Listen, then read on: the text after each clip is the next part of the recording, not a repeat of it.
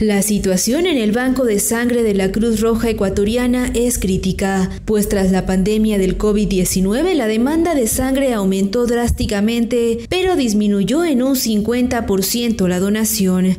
La donación de sangre es un proceso altruista que precisa de poco esfuerzo, no lleva más de 25 minutos. Además, es imprescindible para que existan suficientes reservas que garanticen la actividad hospitalaria.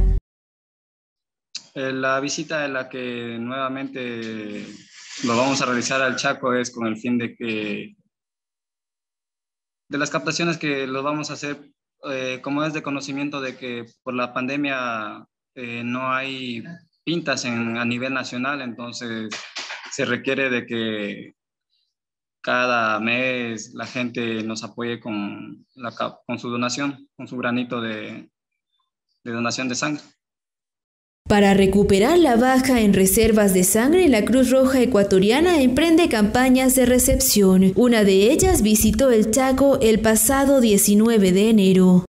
Sí, para qué decir, tuvimos una buena acogida. Eh, se realizó la primera vez que se hizo, eh, aunque sí hubo un poco de inconvenientes por lo del la suspensión de actividades en el Chaco. Entonces, a pesar de eso, eh, si tuvimos la acogida, la gente comenzó a llegar a partir de la tarde, a partir del mediodía, entonces tampoco no sabían de la captación, entonces sí, los, venían familiares, iban informando unos a otros y, y sí tuvimos la buena acogida de la ciudadanía. Para donar, los ciudadanos deben ser mayores de 17 años y menores de 65, no padecer ninguna enfermedad catastrófica, también deben contar con un peso de 50 kilos. Primeramente, tener la voluntad de querer donar la sangre. posteriormente, se procede al llenado de un formulario y para aquello eh, que deseen donar eh, deben de tener de 17 años en adelante hasta los 65 años. Si es menor de edad, tiene que estar con un representante para que autorice y firme el documento. Eh, pesar 50 kilos, que es 110 libras.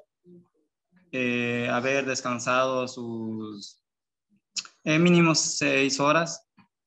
Y también haber ingerido algún alimento, más que todo. El donante tiene derecho a cinco productos sanguíneos para él, ella o sus hijos menores de 17 años y dos productos sanguíneos para sus padres mayores de 65. Para acceder a este beneficio se debe portar con el carnet que el donante recibe después del proceso de donación y tiene una vigencia de seis meses. El beneficio de la persona donante es que se beneficia a la familia, eh, más que todo la esposa, eh, el hijo, el hija, en caso de que requiera, digamos que por ahí tienen algún accidente y necesitan la transfusión, entonces el donador puede solicitar.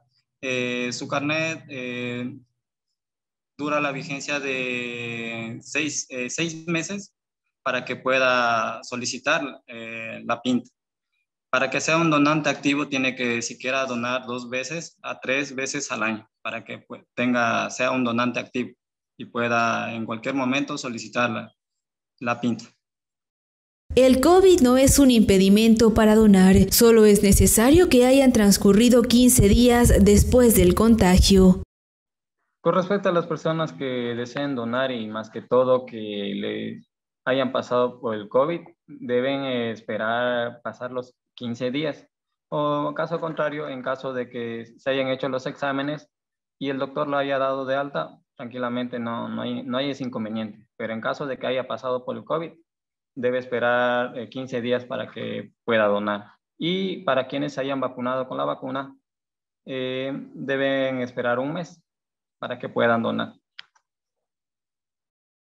Este 21 y 22 de febrero se desarrollará una nueva campaña que utilizará las instalaciones del Departamento de Acción Social del GAD Municipal de El Chaco.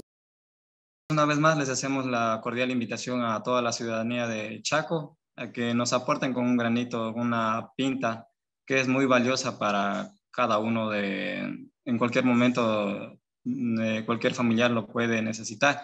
El, lugar de captación lo va a ser en, la Dirección de Acción Social.